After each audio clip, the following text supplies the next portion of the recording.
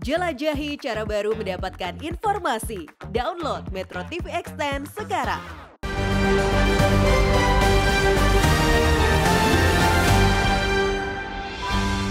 Bolong-bolong proyek IKN.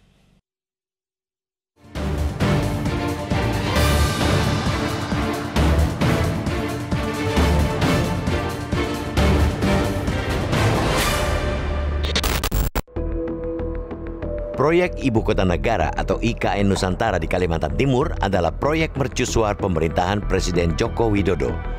Butuh biaya super jumbo sebanyak 466 triliun rupiah untuk merampungkan proyek IKN pada 2045. Untuk permulaan pada 2022, pemerintah merogoh dana APBN 5,1 triliun rupiah. Sementara itu, untuk tahun ini, Badan Anggaran DPR sudah menyetujui anggaran 37 triliun rupiah.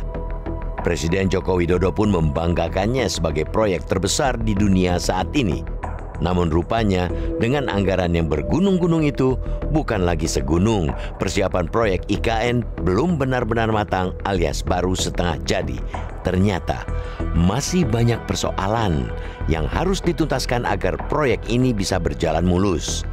Menteri PPN Kepala Bappenas Suharso Monoarfa menyebutkan ada lima isu dan tantangan baru yang belum cukup terakomodir pengaturannya dalam Undang-Undang IKN.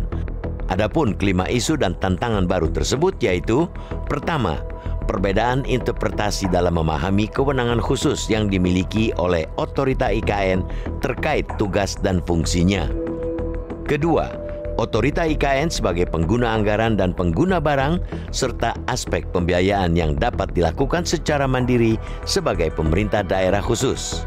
Ketiga, pengaturan spesifik mengenai pengakuan hak atas tanah yang dimiliki atau dikuasai masyarakat, serta penataan ulang tanah untuk memastikan pengelolaan wilayah oleh otorita dan pemerintah daerah di sekitar IKN Nusantara.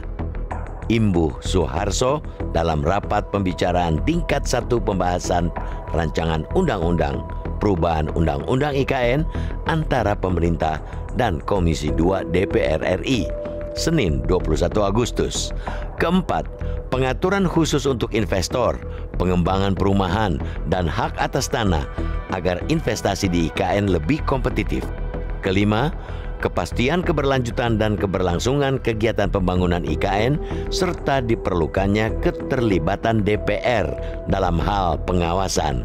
DPR RI menyebut revisi Undang-Undang IKN ditargetkan beres Oktober 2023. Oleh karena itu, revisi Undang-Undang IKN menjadi hal yang krusial.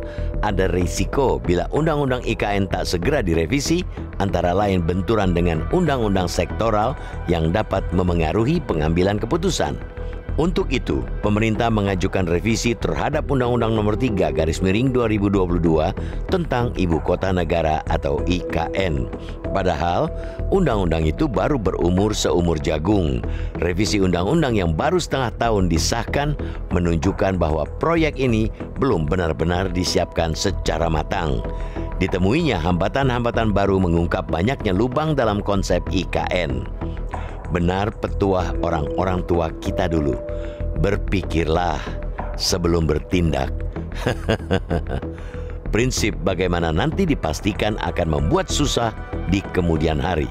Sebaiknya berprinsiplah nanti bagaimana yang artinya kita harus menyiapkan dengan matang dan mengantisipasi segala sesuatunya terkait yang apa akan kita kerjakan. Apalagi untuk proyek yang nilainya ratusan triliun.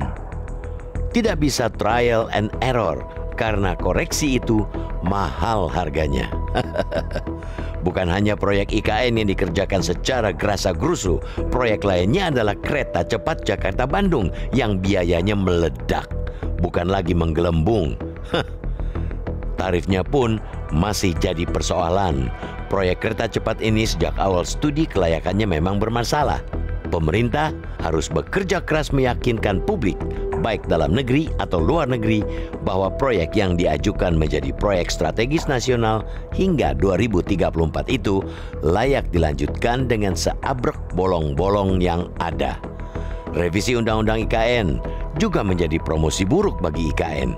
Di tengah kampanye agresif Presiden Joko Widodo untuk memperkenalkan IKN dan menarik investasi asing, ternyata pekerjaan rumah paling mendasar belum diselesaikan, yakni aturan dasar soal IKN. Wajar jika investor berpikir ulang untuk menanamkan modal mereka karena proyek raksasa ini masih setengah matang tetapi sudah dieksekusi. Tak ada yang menjamin revisi Undang-Undang IKN akan selesai Oktober. Pasalnya, revisi itu memerlukan kajian akademis yang mendalam dan melibatkan semua pemangku kepentingan. Proyek IKN jangan sampai nikmat membawa sengsara.